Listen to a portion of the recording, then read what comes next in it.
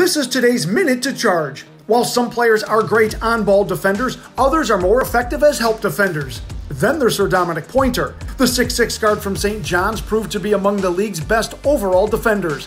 Pointer averaged 1.98 blocks per game, good for second in the G League, while coming up with 1.86 steals per game, all while becoming the first player in league history to record 80 or more blocks and 80 or more steals in a single season, including 5 steals twice and 5 blocks versus Fort Wayne.